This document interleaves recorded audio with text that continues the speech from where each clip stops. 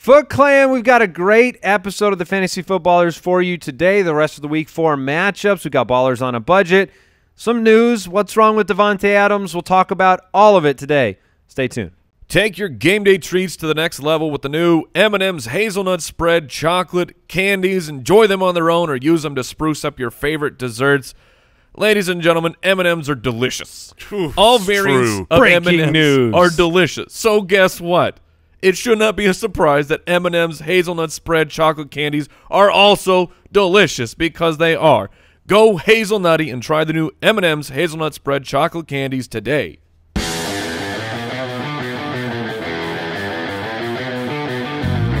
Welcome to the Fantasy Footballers Podcast, coming to you from pristineauction.com studios with your hosts, Andy Holloway, Jason Moore, and Mike Wright. Oh, welcome in. Welcome into the Fantasy Footballers once again. We got a ball game last night. It was a good one. Definitely hit the over. Definitely did. think we got to see that Green Bay Packers defense finally. Well, I, I guess they, they, they did two things. They, yeah. they broke. uh, They had been a bend not break defense. If you look at the statistics about them, they had been a defense Right. that could stop you once you got into the red zone.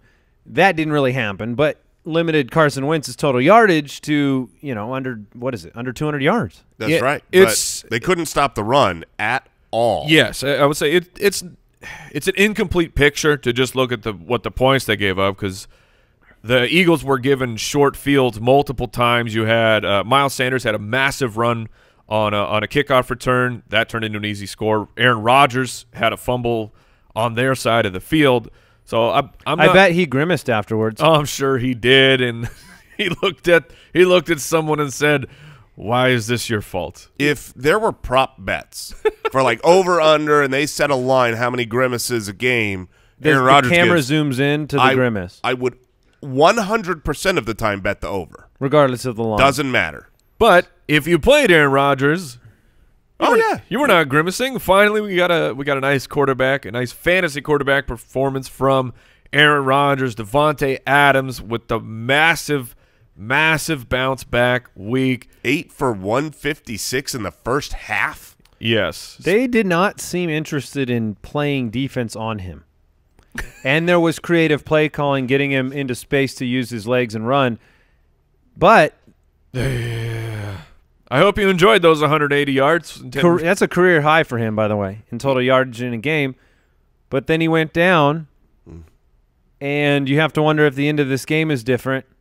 Multiple goal line opportunities on two separate drives It might without have Davante been. Adams. It might have been different, but I'm throwing the probability it was would have been the same with that play calling. It was With, it with was that, bad. With that play calling, meaning uh, throwing for it like four times Yes. in a row on the goal line, would have been very different if you had Davante Adams for four passing plays. Yeah, it actually reminded me of the end of the. It it was exactly the same as the end of the Cleveland Browns game, where you had four opportunities at the goal line. They were all passing plays.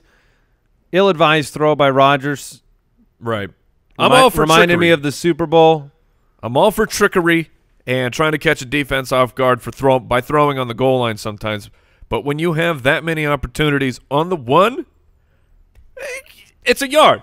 Run the ball. Fantasy wise, Rodgers added to his stat line with 46 yards on the ground. He had 422 through the air, two touchdowns, one interception, one fumble. It was a pretty good performance from Rodgers. It was, you know, two touchdowns. You still didn't see that explosion, but Davante Adams did most of the work in the passing game. Jimmy Graham was resurrected and allowed to play in this one. Yep. Six for 61 and a touchdown. Allison had a touchdown in this one. MVS was a fantasy disappointment, three for 47. Seemed to be off the field in strange circumstances where you expected him out there. I don't know if he was dealing with something. Zach Ertz, seven catches on the Eagles side. Alshon, three for 38 and a touchdown. Frequently targeted. I think that was what stood out to me. Nine targets, only caught three of them, but clearly the first, second, third read, well, him and Ertz, Yeah. was pretty much the entire offense in terms of passing targets. The next highest targeted player was Jordan Howard. Oh, Weird. You never want Yeah. that as part of your in-game bullet points. You know how they do three tr- of 'em. you know how they do like trickery right like oh we're gonna line up in jumbo but then we're throwing to a tight end that's what you do when you run jordan howard out to a screen they go oh they're not gonna go to they, they would never throw to jordan howard and then he had a receiving touchdown. So to Jordan Howard's credit, they ran that Kansas City Chiefs wheel route, and Howard secured the ball and had a nice touchdown. jordan howard balled out Yeah, Yes, 15 for 87, 5.8 per carry on the ground, two touchdowns. Do you, you know, I have a dynasty team with Miles Sanders and Jordan Howard. Obviously, I didn't play Jordan Howard last night, of course. And he had 33 fantasy points. What do you do moving forward with that backfield that seemed like, I guess the one saving grace here is we had two guys receive all the carries. You know, Sproles didn't receive any of the carries. So, what do you do? Who uh, would you start next week?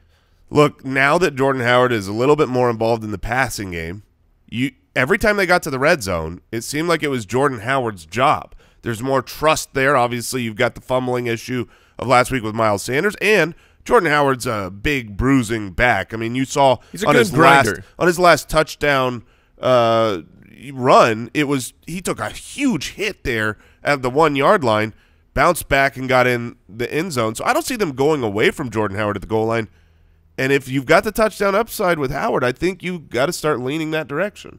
I, I think it it looked like to me, it was they went hot. They were going hot hand. Like Howard was the better player last night. Yes, Miles Sanders saved his day. He ripped off a big run, and he also had the you know the the big special teams return, but that doesn't count for most fantasy leagues. It looked like a hot the hot hand for Jordan Howard, so they just kept going to him. I expect it will still be even. However, Jason is correct. It, red zone and goal line work. That's Jordan Howard until further notice. Nelson Agholor cannot drop anything when he's not It's, targeted. it's that meme like you can't drop it if they don't throw it to you. yeah, so he was the he was a complete goose last night. If you decided to roll him out there Woof. over Jeffery or something Woof. of that nature, it didn't work out. Now, Adams, the big news circling back there as we get into our in and out segment and the rest of this show, which has uh, we'll have fantasy forecast, the rest of the matchups. I'm going to sneak an upset of the weekend there. We've got ballers on a budget. But Davante Adams, the big news is he departed with the toe injury. Yeah. Had the monstrous 10 for 15, uh, 10 of 15 targets, 180 yards. He diagnosed himself with turf toe. Pro Football Doc feared turf toe. He couldn't put his shoe on after the game. What are we expecting from Davante Adams over the next few weeks? They have a long week being the Thursday night game, but I think you have to expect him to miss a couple of weeks. I don't think he's going to be back Sunday. You can hope he's back the following Sunday, but I think it's more realistic that the Sunday after that. So if he misses the next two weeks, I think that both Geronimo and MVS become playable assets. I, I expect Geronimo Allison to actually have the bigger uptick in a role as kind of a more sure thing with Rodgers long term. He's played with them, he knows them. MVS is really talented, but he doesn't he doesn't seem to be in sync with Aaron Rodgers. You know, if he gets 10 11 targets, I don't I don't think it's going to be, you know, I feel like those games is where he catches four or five of those targets. He's he's more of a secondary option rather than the primary guy. I'm most excited if, if in Adams' absence on actually being able to count on Jimmy Graham as a tight end. Yeah. I, I think that's a great point. I mean, I think we saw as soon as Adams went off the field, it was you know 11 yard pass to Jimmy Graham, 10 yard pass to Jimmy Graham. That was the surprise. You know, the the impressive thing to me. I think you downgrade Rodgers, obviously. They have their upcoming schedule is at Dallas next week, and then a juicy matchup at home with the Detroit Lions. You had a major injury to Jamal Williams, yeah, taking him off the field to finish that game up with the running backs. Aaron Jones did absolutely nothing with his opportunity. He hasn't been able to run the ball effectively. This team hasn't been able to run the ball effectively at all through the entire season. So Rodgers is having to do more. He threw the ball to Jones on several occasions. Hopefully Jamal Williams will be okay. That was a scary situation uh, for him and Maddox in this game. Two players Sure. stretchered off. That was that was not fun. So uh, right now, it looks like Aaron Jones is going to be the guy moving forward, but efficiency has been a huge problem. Yeah, huge. I mean, you're talking under two a carry, and it wasn't just. Is this a Matt. LaFleur problem in terms of they could you know I Jones could run to the ball? believe that. It just doesn't seem like he's ever in a position like a lot of these runs were not his fault. A lot of these runs were two or three guys in the backfield, good defensive front for the Eagles. I think that, you know, didn't help anything, but you would have expected more than 21 yards rushing in a game where Jamal Williams left and Aaron Jones is the only player in town. Yes. All right, it's Friday. Foot Clan Friday. As we head into the weekend, each and every Friday, we want to say thank you to those of you that support this independent podcast at jointhefoot.com, the official Foot Clan community. And today, this fine Friday, we give Rick and more TDs. Oh, I see what you did there. That's the winner this week. Foot Clan Friday winner of a $55 gift card to shopballers.com. Thank you for supporting the show. We appreciate you. You can find that community at jointhefoot.com. You can follow us on Twitter at the FF Ballers. You can find us on YouTube, youtube.com slash the fantasy footballers. We're going to be paying out a number of water bets today. That This video will show up tomorrow on the YouTube. Uh, we have week two and week three to pay out. Mike, you and I had that Mecole Hardman, John Ross bet from week two. Both players balled out. You beat me. You're going to water me today. We had a 77 yard Juju Smith Schuster bet in week three. He had 81 yards, and you beat me again. These are uh-huh. these are narrow wins. They hurt more that way. I'd rather be blown out like Not Jason. only were they narrow, they were by the skin of my teeth Oh, with a John Ross garbage TD and then that 76 yard Juju team. Now, when you say blown out like Jason, you mean blown out like Jason did to you with the Dolphins doubling up that over under. Yeah, I volunteered to take two waters for the Patriots Miami game where I said that Miami would. I hope you brought a I- wetsuit. I took the really outlandish approach that they might not lose by 20, Yeah. and they lost by 40. And then, uh, I like you used the mocking voice. they lost by 40. Well, I- so it was not a smart move to say they would lose by fewer than 20. correct. It's just a little unnatural to be like, yeah, I think they might be able to stay Yeah. within 20 and then feel like the idiot. But they're the Dolphins, so I should have known better. And then, Mike, I beat you with the uh, I'm going to water you for the Eric Ebron top 12 Yes. tight end week two bet. So we'll have a number of those. We'll film them today. It'll be fun. It'll be on youtube.com slash fantasy footballers tomorrow. Let's go ahead and do some in and out. What's it gonna be, McFly? Are you in or out? All right, lots of injury news, notes, reports. Running back. Let's start there. Rashad Penny, He returned to practice, so I would expect him to play. he returned to a limited practice. Sure. Th- I'm going to go no. I think he's out. I think he's going to play. This was the expectation from the previous Sunday. They they expected him to. Th- this is the timetable that I think they set for him to come back on this Thursday. So I'm going to say he's in. Damien Williams, the knee injury, didn't practice Wednesday or Thursday. In or out? Out. Out. Justin? Shady uh, been full full go yeah, as well. he's, a, he's a full go for your roster. Justin Jackson, calf injury, added to the injury report. We don't know a lot, but what do you think? In or out for Justin Jackson? I, I don't That's a, like that's a West Coast practice. We don't have that yet. and it's oh. one of those late injuries. Like Rashad Penny was a he returned. This Justin Jackson's now added to the injury report late. Is this the the, The- window that Melvin Gordon sneaks in and gets like eight touches? I'm going to say no. I think Justin Jackson plays. Gordon's Okay. inactive. All right, All right, Royce Freeman. I'll say he's in. Devin Singletary practice again today, That was a Thursday and. Friday. Do you think he plays? if he's practicing, I'm- Yeah. I think he'll be out there. But I'm with you, Mike. That's surprising, and I I would be fearful to play him. I would be trying not to practice if I was Devin Singletary with this Patriots matchup. No, uh, it's nice to see him return quicker than we expected after seeing the injury on the field. Rex Burkhead limited on Thursday, in or out, In. in and playing against Buffalo. What would you do? Would I play him? Correct. Oh no. Yeah. Ito Smith resume practicing on Thursday. Should be in there to Yes. disrupt your Devonta Freeman. Wide receivers. T.Y. Hilton with the quad injury didn't practice Wednesday or Thursday. In or out? Man, that's that's tough because he's missed a lot of practices and still plays. I'm gonna say in. I think he's gonna I, play. I think he will play too, but it's it's everything's today's practice. Do you play him if he's in? I think you have to. I do. Yeah, at this Yeah. point. Julian, and hopefully he's very respectful of your fantasy team the way Davante Adams was. going for And- a career high in yardage before getting injured. and the way that Hilton did last. exactly, exactly. He is. He's a respectful man. Of course he fine, upstanding Plus, he's got a, he's got a touchdown streak. yes. Julian Edelman with the chest injury, in or out. In. In. Amari Cooper, In. Yep. Mike Williams with the back remains sidelined on Thursday. Seems similar to the week before, different Yeah. injury, but I we did see him active. I believe he will play, but caution. Is it a little concerning that this week it's the back issue, which was the major issue last season? From That- what I understand, it was a it's it's not related to that. Okay, so just same body part, different correct, injury. correct. Yeah, it- it's concerning that he's on the injury report every week. That doesn't I don't like that.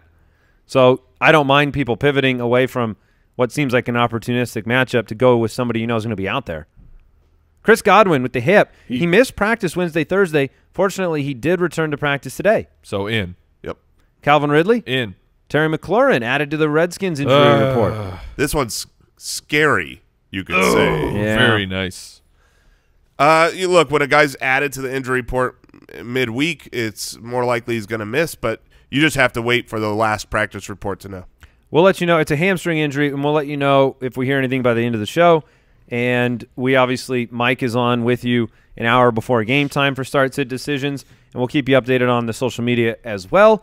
Chris Conley with the knee injury, limited Thursday. I don't, you know, I don't think he's going to play, and I don't, care if he does. Yeah. Care. Albert Wilson is expected to return for the game against the Chargers. Cool. I'm- it, not playing him, but excited to watch Albert Wilson, Wilson play. All right, tight ends. Vance McDonald, Monday night game, didn't practice Thursday. You need. I'm No. not uh, playing Vance McDonald. Yeah, I, I'm not I- putting myself in that position. I, they they say that you know he could be there, but I just can't imagine they they ship away a fifth rounder for a tight end while their tight end is injured because he's going to play. So I'm going to say out. Mark Andrews with the foot injury returned to practice Friday, didn't practice Wednesday and Thursday. I think he's going to be in. Yep, par, he's in. par for the course. Delanie Walker with the knee didn't practice Thursday. Walker and Greg Olsen, they're they're getting that old man rest. I believe. I I think they both will play. Can we take off a couple days every week once we hit a certain age? Is Yes. that the- yeah, that's how it works. Okay. No, am- Bro- amazingly, Brooks and Al Borland will be doing the Thursday, Friday pract- uh, shows. Sorry, Foot Clan. All right. Uh, like I said, game day alerts. You can get the injury reports before you have to make those decisions at jointhefoot.com each and every week. We post those Sunday live on Twitter and Periscope and Facebook and all that. Mike, I'm- you've got something to say. I'm just laughing right now because we refer to these guys as they're you know like old man, the old Right. man strength, the day of rest, and like They're all younger and- than us. And Greg Olsen looks like I mean that's a that's a lumberjack. That's, That's a a seasoned man. We are older than, than Greg Olsen, and he, I feel like Greg Olsen could be my father. Like Right. that, that's the age discrepancy On between the two of us. And honestly, I think he could have been. That's how much a man he was. He was one year old when he became your father. It's frightening world, but you're right. You're right. I, I thought he was 56, so I didn't realize that he was younger than us. Yes. Uh, news and notes, injury reports, all that stuff brought to you by the Sleeper app. Don't miss big time fantasy football news updates this morning. I was brushing my teeth, got the report on Sleeper that Chris Godwin was back at practice. You probably brushed with a little more vigor after that. No, I, a little less. I was real tense, and then I calmed it down to the appropriate level with my quip. All right, we're gonna get into the fantasy forecast, and we want to thank CBS Sports HQ. Today's episode brought to you by CBS Sports HQ. Sports TV nowadays is full of the bickering and the made-up drama, but CBS Sports HQ I disagree. it's here to change that. CBS Sports HQ is a network that streams 24 7 to bring you top tier sports and fantasy coverage without any of the yelling and fake debates. They bring you the latest news, highlights, previews, recaps from around the sports world, the latest stats, injury updates, in depth breakdowns and analysis, and best of all, just like this podcast, it's free. Nice. Not free for a week, Jason. Or a month, Jason. Or if you have some special cable package, Jason. It's totally free? 100% free. You don't even need to log in. Open the CBS Sports app. Watch anytime from, from anywhere on your phone or at home uh, on your Apple TV, Roku, or Fire, t- Fire TV. It couldn't be easier. Download the CBS Sports app and watch CBS Sports HQ today. I can afford it. You can. Also, Foot Clan, are you aware that on average a burglary happens every 23 seconds in the U.S.? But only one in five Lock the homes doors, Brooks. have security, probably because most companies don't make it easy. Genuinely, those super long contracts, the the high prices, uh, but not SimpliSafe. Simply Safe makes it easy on you with no contract, hidden fees, or fine print. They protect every door, window, and room with 24/7 professional monitoring for just $15 a month with no contract. That's why before SimpliSafe was a sponsor, we used them to protect our studio. Going on three years They've now. won a ton of awards from CNET to the New York Times Wirecutter. Shout out Wirecutter. Love that place. One thing that makes SimpliSafe stand out is their video verification technology. Other home security systems are triggered. Police are warned. They just think it's a false alarm, and they slowly come around. But not SimpliSafe. Using their video verification technology, they can visually confirm that the break-in is happening and allowing police to get there three and a half times faster. Look, visit simplisafe.com slash footballers. You'll get a free shipping and a 60-day risk-free trial. You've got nothing to lose. Go now. Be sure to go to simplisafe.com slash footballers so they know our show sent you. Simplisafe.com slash footballers. Fantasy Forecast. Excited to get into the remaining matchups for week four. Yesterday on the show, we did the Panthers, Texans, Browns, Ravens, Chiefs, Lions, Patriots, Bills, Chargers, Dolphins, Raiders, Colts. Those matchups on yesterday's show. Go ahead and listen in, and you'll get the uh, you get the breakdown. It's free. It's free. it, it is. Eight matchups remaining on today's show. Ballers on a budget after that. The Titans Falcons. They play in Atlanta. Both teams one and two. Falcons are four point home favorites. 45 and a half point over under. Mariota, Matt Ryan. I know we're not interested in the alliterative Marcus Mariota. No. Just because he has the same letter at the front of both names does not make him a start, It's Mike. It's, it's a sensational name, to be fair. I mean, that is a comic book. It's that that he's an alias. So that perhaps, perhaps he's not as good in the NFL because he's actually a superhero and he knows that he has to feign his he's, strength. he's really been Uh, in the Bruce. He's, gr- he's a great actor, yes. if that's the case. He's been in the Bruce Wayne state for many years now. Matt Ryan is our consensus quarterback 10 on the week. He's averaged 309 passing yards per game. Are you playing Matt Ryan against Yes, yes. the Titans defense? Yeah, the the matchup stinks, but it's Matt Ryan at home. Uh, he's he's averaging over 300 yards, multi touchdowns every week. He's he's a good fantasy start. Yeah, I look at Matt Ryan in this game very similar to how I looked at Carson Wentz yesterday. Like, he, Yeah. you know, you got to play him. We we have this track record of, of stats so far. It's three games. I think Matt Ryan at home is a must start. Yeah, you. I mean, I was in the offseason, I was the anti Matt Ryan believer. Two of my biggest reasons were the defense. They lost so many pieces last year, and the running game couldn't. You know, wasn't going when they lost Devonta Freeman. Well, the running game's not going with Freeman. Keanu Neal now is out. So yeah, I mean, at home, Matt Ryan is pretty much a weekly start. Uh, Devonta Freeman, 20 touches last week. It was a bit of a product that Ito Smith was knocked out of the game, and Ito Smith has resumed practicing. We'll see if he plays or not. That'll have to, a lot to do with the, the confidence you can have playing Freeman because the matchup is it's back to a rough matchup for Freeman. I, I'm not sure that I would want to play Freeman. I mean, you might have to, but Yeah. even if Ito is out, this is a bad matchup for a guy that just hasn't been able to get it done. Yeah, I think this might be the week he gets a little bit more involved in the passing game and does enough. I'm I'm willing to make a top 24 bet with you, Jason, if that's Oh. Top 24. He's in my top 24. I'm not going to oh. bet that's against my makes, own rankings. And that's what makes that bet so good So for this me. sounds like you would play him then. Yeah, it does, based on your rankings. Talking out both sides of your mouth yes, over you are, here. sir. I would not play him, but he's a top 24 guy, so then I would 100% play him because you played two running backs. Yeah, take a stand. I'm my friend. Jason Moore. Here's the deal. My rosters have better than two top 24 running backs. Oh, so, you know, look, oh. if your nasty rosters are like, oh, running back 24, that's exciting, go ahead. Sorry about your roster. Now, who, Jason, who are your running backs, Jay? Uh, Leonard Austin Fournette. Ekeler, Alvin Kamara, and Dalvin Cook. Those are don't don't don't look this up.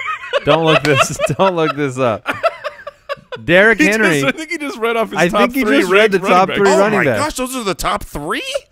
Man, that's good. You're an excellent Uh, fantasy player. Uh, Barry Barry Barry Sanders, uh, Emmitt Smith, and LaDainian Tomlinson. Derrick Henry, Jason, you have him at RB six this week. He's averaging 17 rushing attempts per game.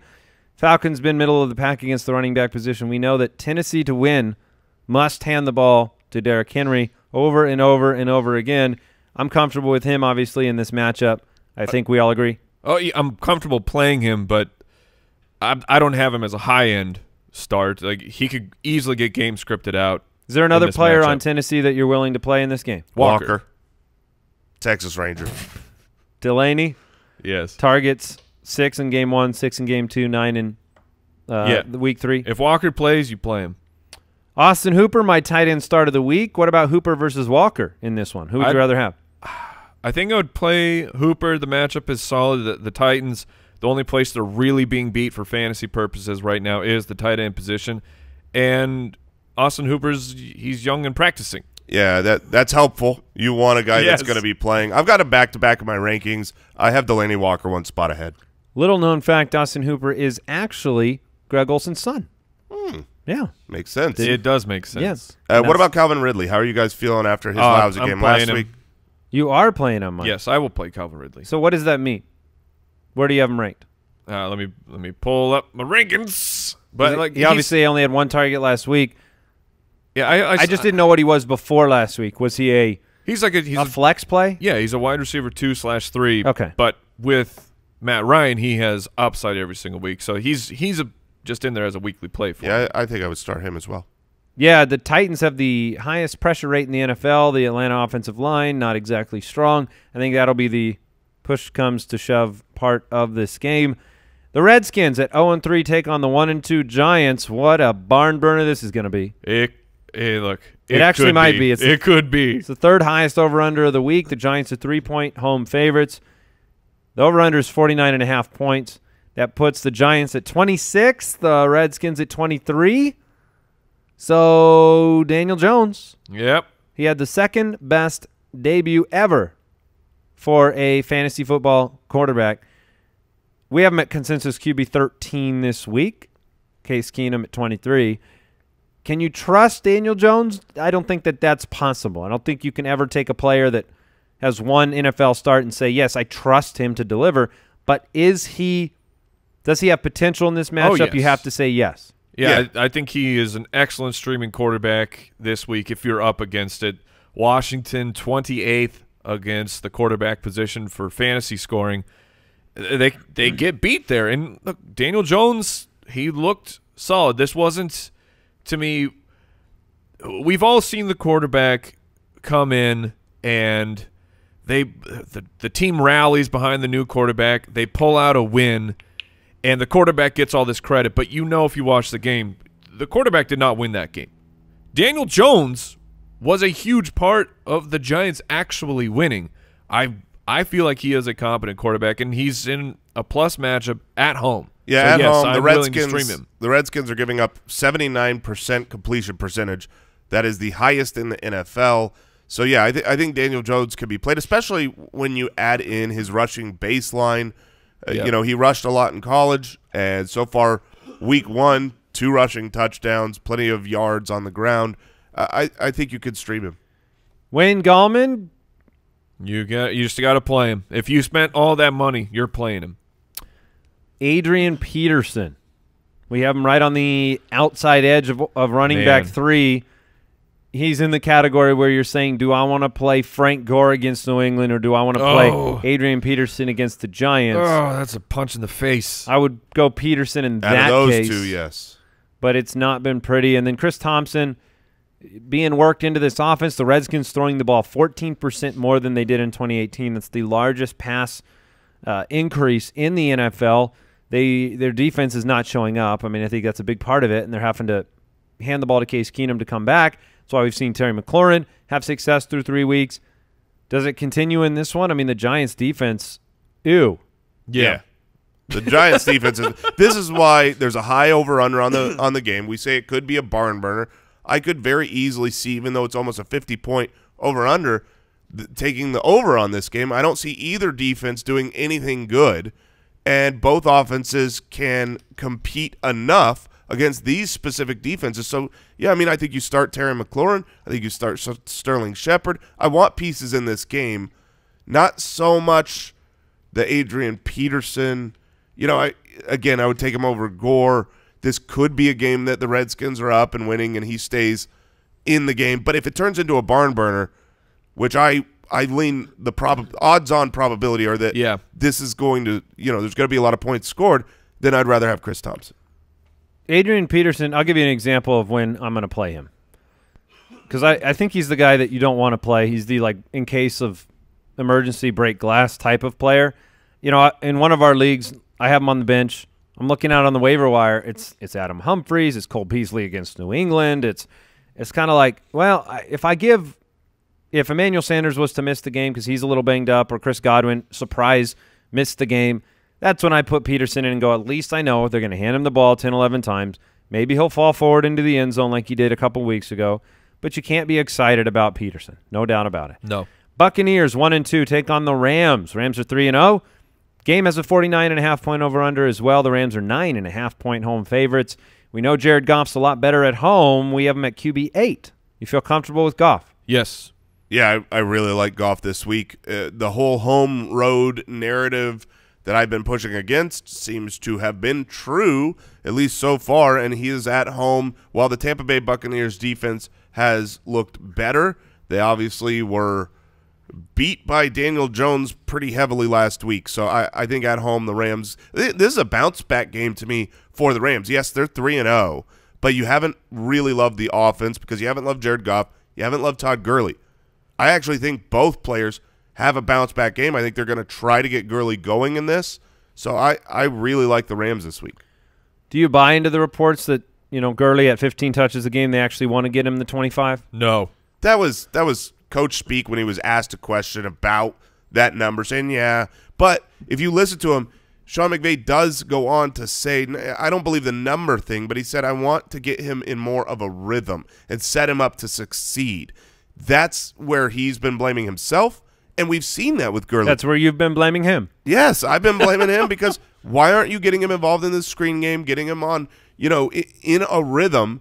And if that's an effort given by Sean McVay, I think, look, Gurley's been out there. He's not, I mean, we're worried about the workload, but he's not currently injured. He's still the same talented guy. Before the season, if I had said he'd be three weeks in, 71% of the snaps on the season, I think we'd all have imagined So him you being he's a top 10 guy. exactly, Top five. exactly. So we've been, you know, they have not taken him off the field. They're three and zero. That's a good sign. He's is he a buy low for you? if, if you believe McVay can, you know, even some small involvement in the passing game is going to change the narrative quite a bit. I traded for him this week uh, in our listener league because I think this week he's a buy low. That being said, if he balls out and looks amazing, yeah, I'm going to listen to offers because I still worry about the long term uh, reliability. Peyton Barber, Ronald Jones, you starting either guy in this one. The Rams, the only place they have been beaten has been at the running back position because their corners are incredible and they have a great pass rush. So occasionally running backs have done a few things against them, giving up 22 and a half fantasy points. But if you have to pick one, where do you go? Uh, I guess Ronald Jones because Please don't pick one. Is that the answer? because it's just reactionary to what happened last week. This is a this is a tango that I want no part of. Evans and Godwin, you starting these guys against these Yes. incredible corners? Yeah, I Yes, think you, you have to. probably have to based on where they were drafted, who they are, and what your the rest of your lineup is. But I'm I'm expecting a poor game out of Jameis Winston against the Rams. So that Evans obviously coming does off- not bode well for Evans and Godwin.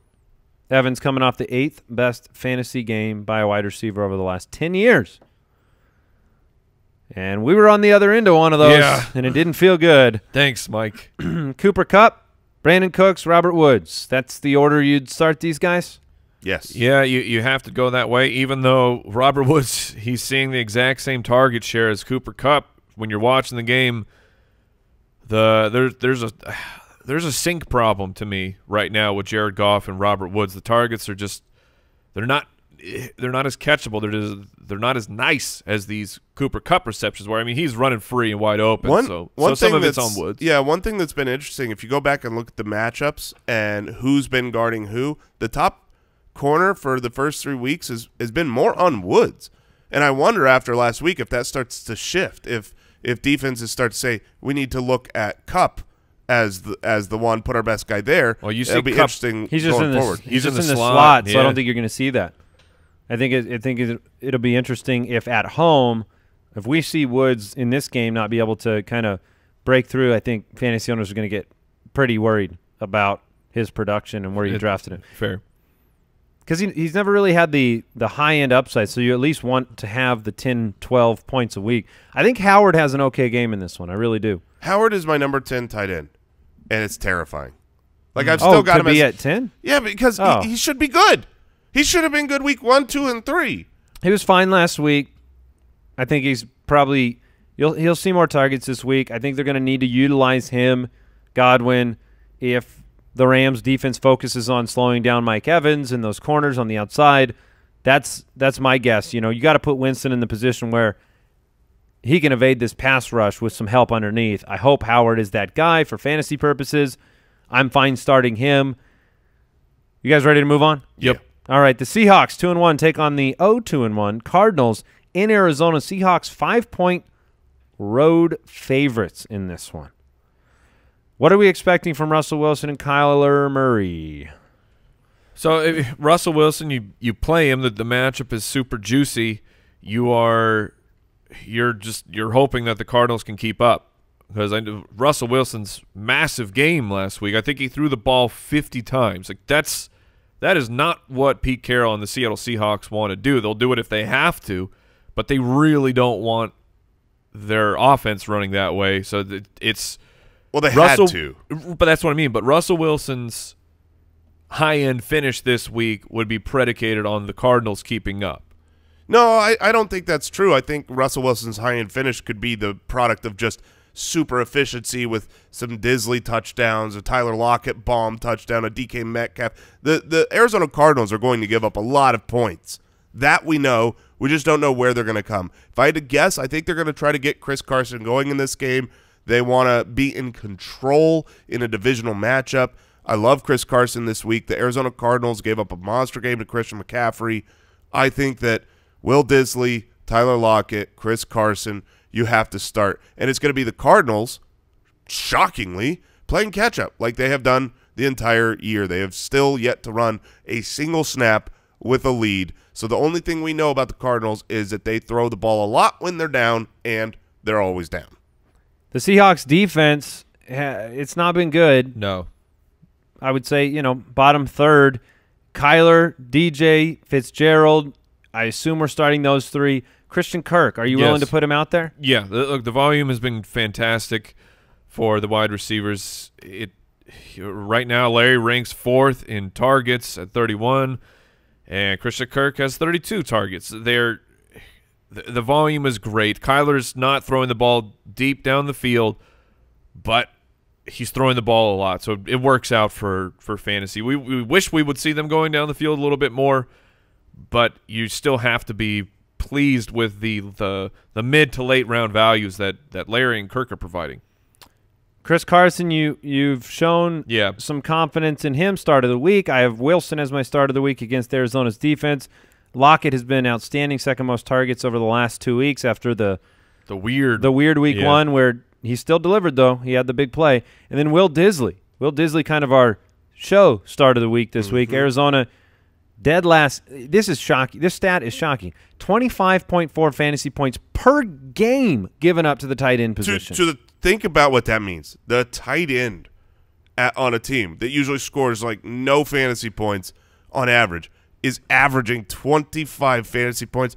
That's why Montana's Gatorade High School Player of the Year in 2013, the Big Montana himself, is our start of the week. Will Dissly. Whoa! Yeah! Come on.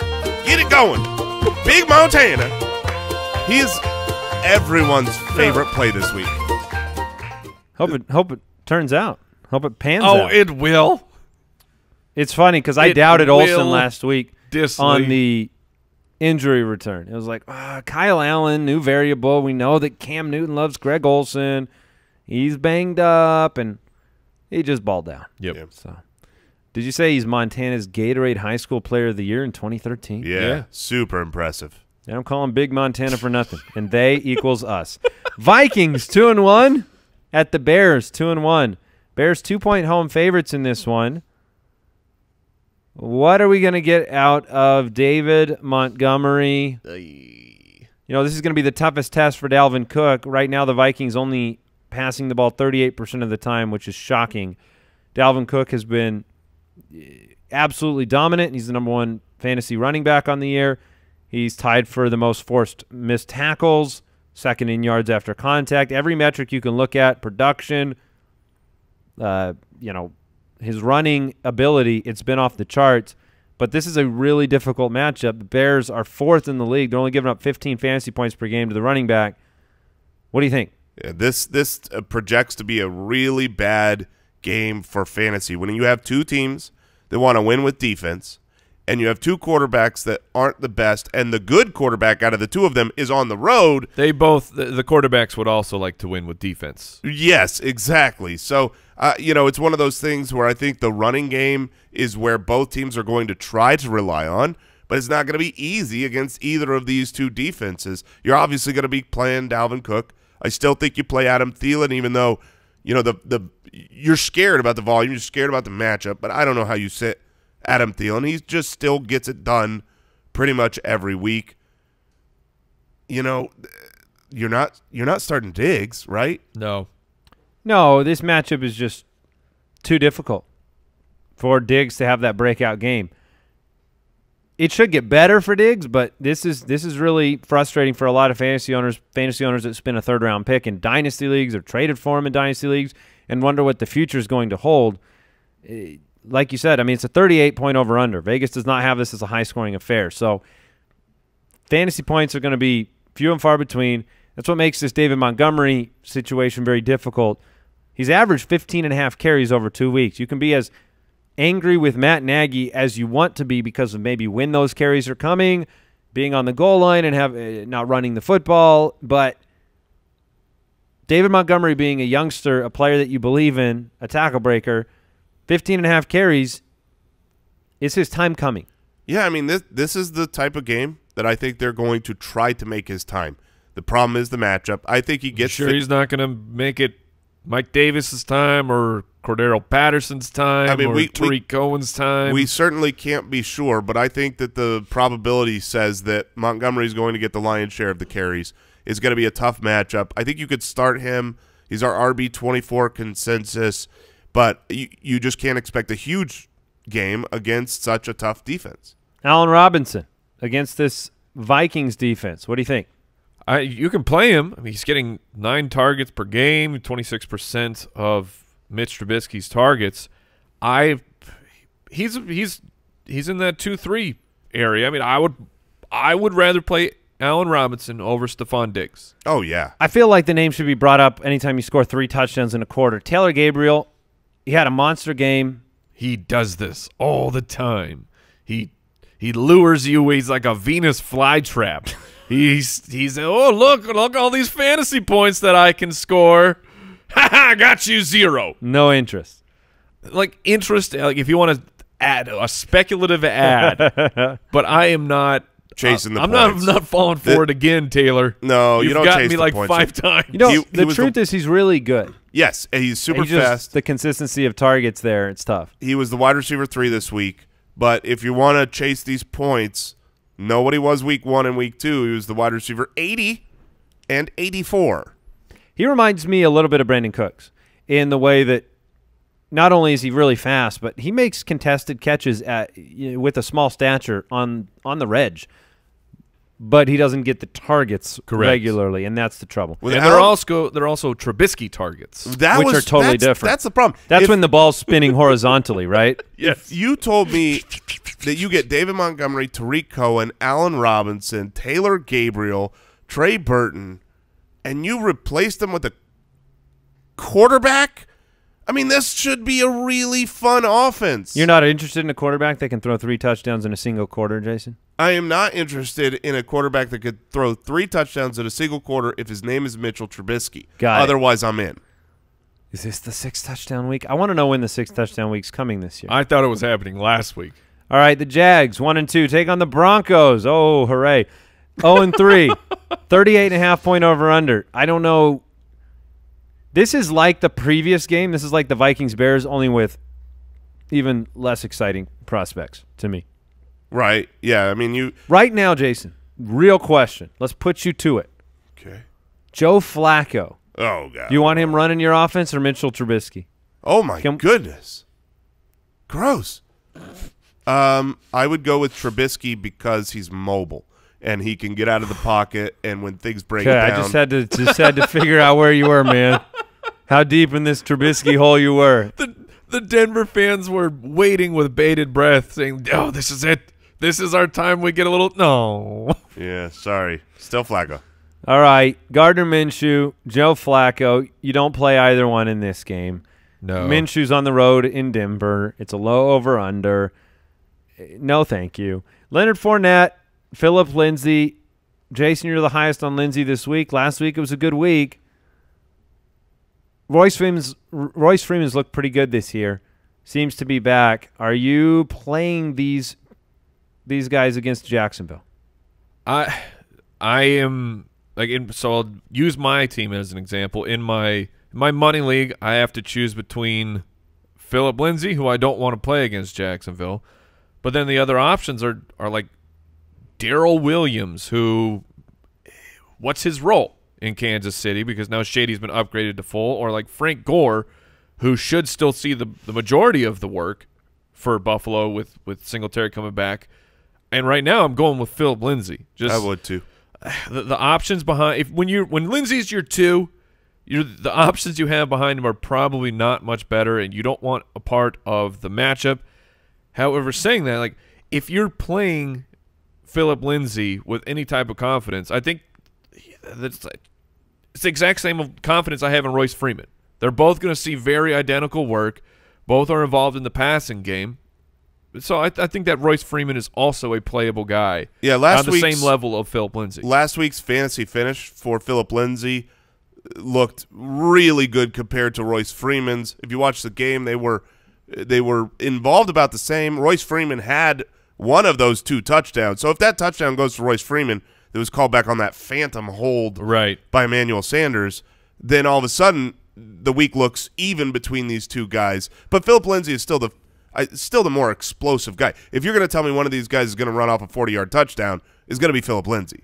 if you uh, on Sunday, if you're walking around the house and you feel kind of some malaise or nausea, you feel a little not yourself, check your TV. Make sure this game's not on. That could be Right. actually Oh. the reason why. Slowest pace of play in football for Jacksonville. Ugliest pace of play in Denver so far. The Broncos That's defense. a trackable get stat this. now. Yeah, yes, it is. The Broncos defense has exactly zero sacks on the season. This was the formidable, Hmm. incredible. It's it's Because this looks like a good defensive un- play, right? On, on paper, Denver at home against Gardner Minshew looks like a great play. You've Zero got- sacks. You've got Von Miller, zero sacks through three games. That's it's it's outland with Vic Fangio coming like the defensive genius running the show. It's it's really unbelievable. Um, here's I think the the only question in this game. Like I'm not playing DJ Chark. I know he's been on fire, but he gets Chris Harris Jr. Yeah, I saw what he did to Davante Adams. Um, but what about Emmanuel Sanders and Courtland Sutton? Jacksonville's a great D, but they're they're not going to have Jalen Ramsey. That changes things. Is that where, where it has trended to? Is Ramsey looking like he's I going to be out? believe they are going to be without Jalen because Ramsey. he he had the the wink wink flu, and then he had like a wink wink. no, he had a real he had a child. real real child. child. That wasn't a wink wink child. He flew to, I believe, Nashville. He's there with James White. He's just like Yeah, I just wanted to see James White's baby. no, It's but he says his, his trade request still stands. Right. So I I- don't believe he's playing this week. I think he found the loophole. Good if for his you, wife man. can have a baby next week, he's look he's out there looking for. If he can find Sam Darnold, you know what he's after that Oh, he's a little smoochy smooch. because he doesn't want to take the field for Just give me a Jacksonville kiss, anymore. Sam. That'll buy him what four or five weeks at least. Oh man.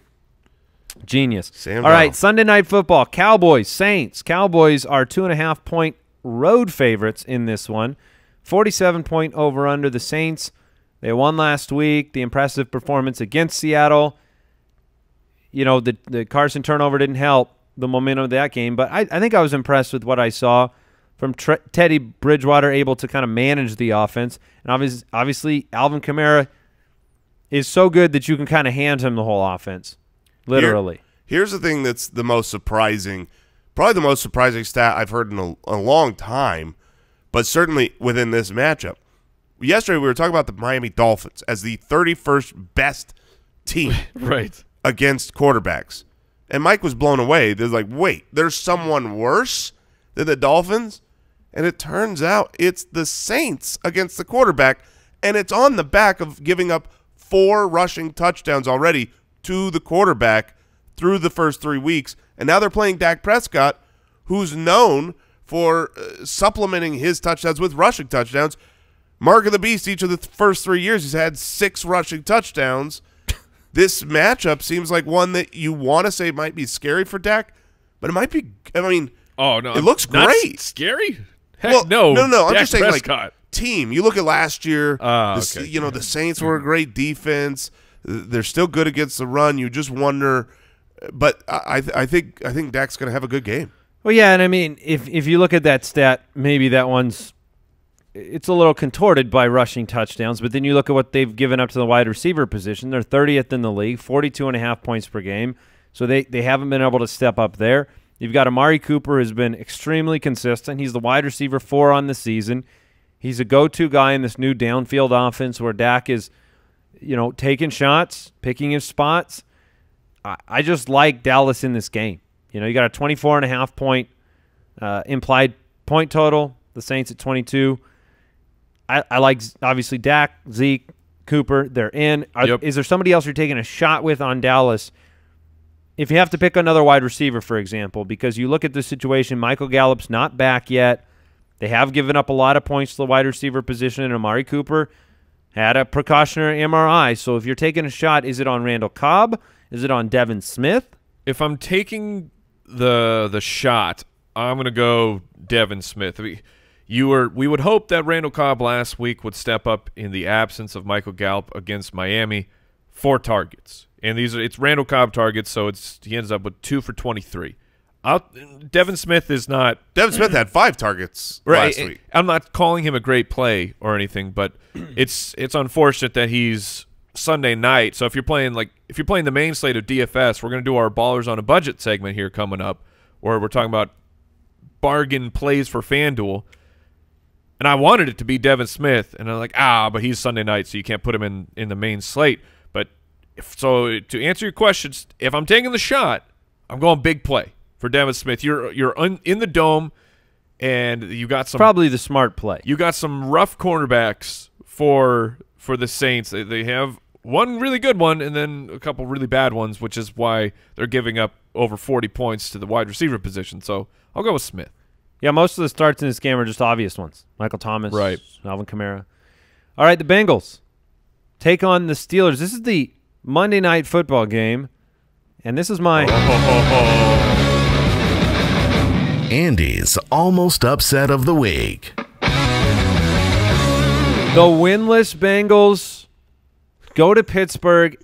Steelers are four point favorites. This is the Monday night game. I'm going back to the well with the Bengals. Last week they delivered the almost upset against the Bills. I think they do it again against Mason Rudolph in the divisional matchup. Mason Rudolph, 14 completions last week, 174 yards. It was gross. Somewhere there is an, a, a high-ranking executive who has lost all his all of his hair as he gives a gaze to the Monday Night Football upcoming schedule. Someone's going to win this thing. From what? Well, maybe. Not not Maybe. necessarily. Oh, that would be so great.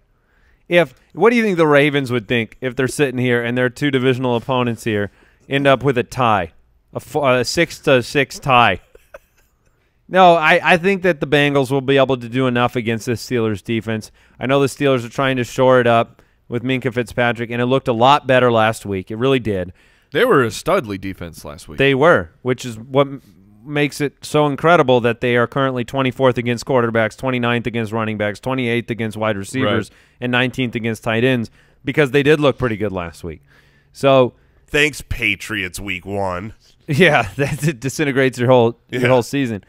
But at the same time, we've seen Andy Dalton uh, given a license to throw the ball over and over and over again, and there are problems in the Steelers secondary. They have the second highest pass play rate in football right now at 72.9%.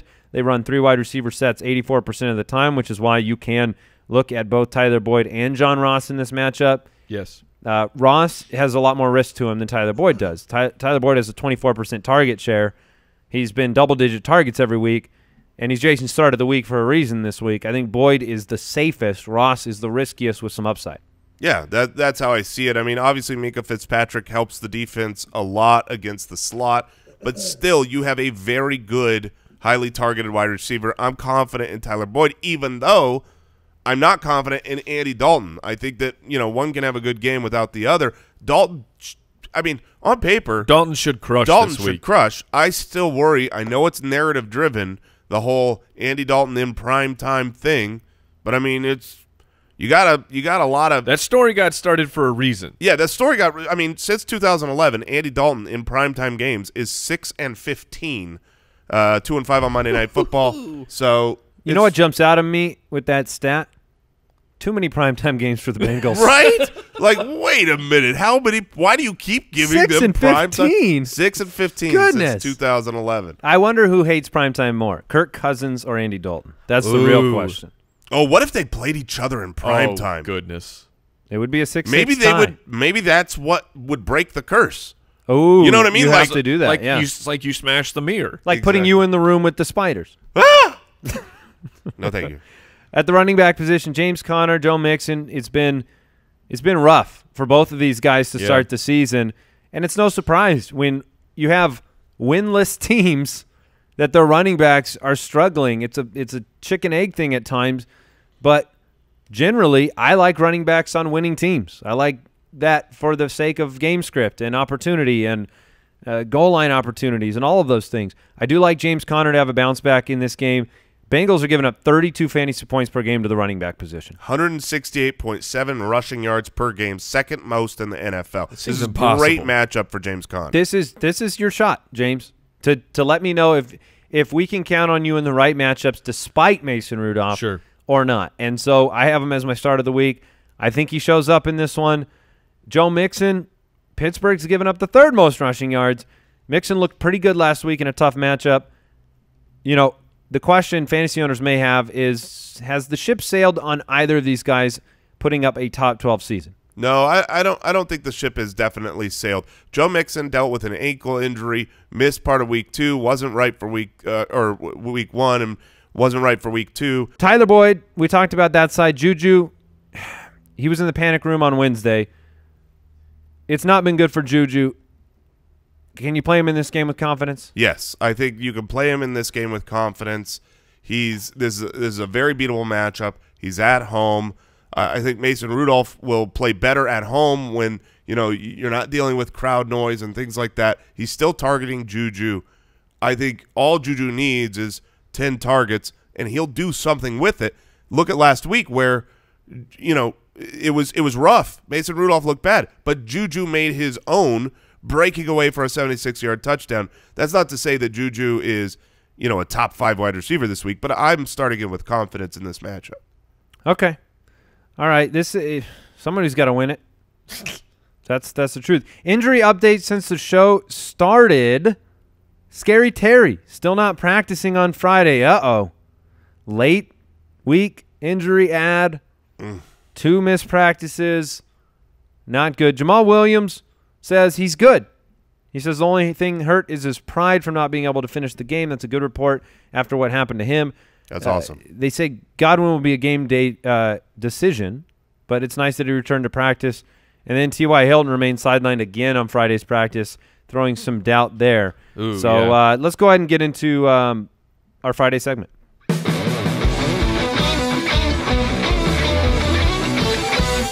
Ballers on a Budget, presented by FanDuel. Yar. I don't know why I became a pirate there, but I was excited and my voice is like this. So Well, Yar is what you got. Maybe you had Scary Terry in your, in your mind, and that's a good pirate name. That is. It's, Scary it's a well-known fact that pirates, as they pillaged and they, you know, they journeyed the seas looking for booty to steal, Mm-hmm. blues music. Hmm. That's that's how they got ready for battle. That's uh I didn't know that, Mike, but thank you. Wow. So look, Foot should've. Clan, we're we're giving you some of our favorite picks that are cheaper on FanDuel, guys that we think can very much outproduce what they cost right now, and and you guys can get in on this. Uh, the Fantasy Footballers Leaderboard Series is going on, and and just so that everybody knows how this works, because you might think, oh, maybe I didn't play Week One, Week Two, maybe I've never played FanDuel, Right. look, this is we set this up this way so that everyone has a fair shot every single week. All you have to do every single week, it's a brand new contest. You win any one of these weeks, and there's limited participants just for the Foot Clan. You win any of them, and you're automatically entered into that prize. There's a ton of uh, prizes we're giving out, including the all expense paid trip to Arizona to hang out with us, do a live recording. Uh, so it's going to be great, uh, a great time. What's the web address, Jason? Oh yeah, if you want, I guess if I guess if you want to play, you can go to fanduel.com slash ballers, fanduel.com slash ballers. Uh, since I'm talking, I'm gonna go with my uh, super chalk. I think it's chalky, but I think you you you're going to benefit from putting Wayne Gallman in your lineup. He's priced like old Wayne Gallman. He's at fifty nine hundred dollars. That's what you'd pay for Rashad Penny, who might not play, or Tarik Cohen, who has done nothing. Wayne Gallman is inheriting the Saquon Barkley role. He he won't be Saquon Barkley, but in a game that we expect a lot of points to be scored, Wayne Gallman at 5900 is a steal. Usually I like putting a lot of my money into the stud stud running backs and finding cheaper value elsewhere, but this week with Gallman mispriced, I would throw him in my lineup. All right, I'm gonna go with Hollywood Brown. Hollywood. I was really surprised. I saw him at fifty seven hundred dollars against Cleveland.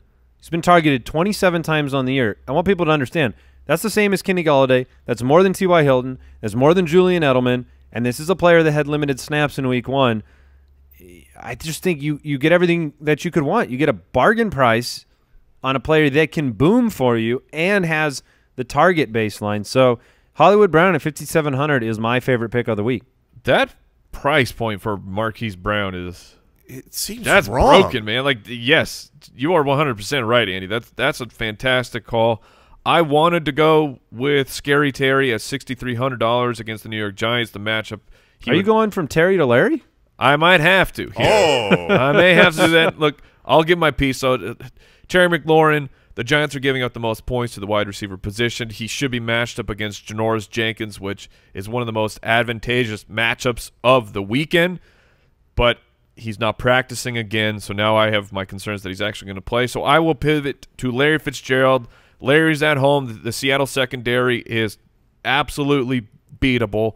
Larry Fitzgerald has had double-digit targets two of three weeks. He has scored in two of three weeks at home. So I, I think that he is he is safe for volume, and that his his pricing point at fifty nine hundred is it's very fair.